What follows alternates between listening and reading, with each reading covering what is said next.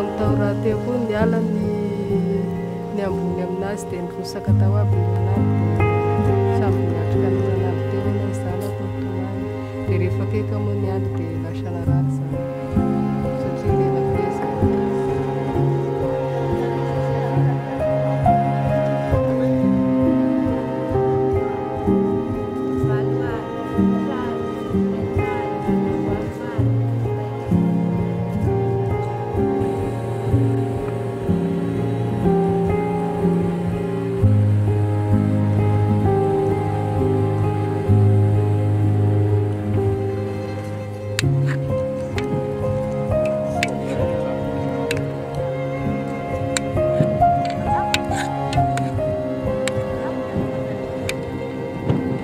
We're certainly aiming to save lives through emergency assistance and providing the essential food that they need to get through this period.